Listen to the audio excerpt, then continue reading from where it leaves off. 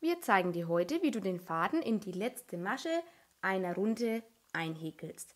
Also in diesem Fall hier dieser Faden, der grüne Faden, in die letzte Masche mit einhäkelst und nach oben führst.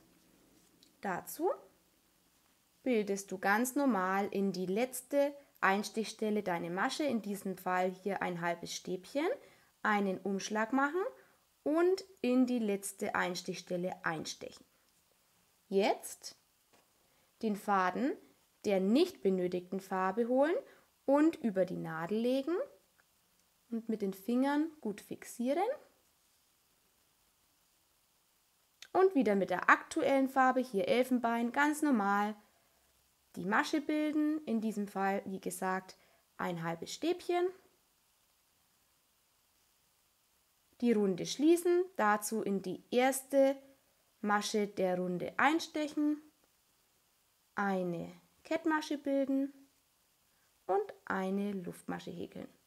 Jetzt kannst du ganz normal in Runden weiterhäkeln und hier auf der Rückseite ganz gut zu erkennen, der grüne Faden der nicht benötigten Farbe wurde hier mit eingehäkelt und kann somit nach oben geführt werden. Diesen Vorgang kannst du dann immer am Ende deiner Runde wiederholen und somit den Faden weiter nach oben führen.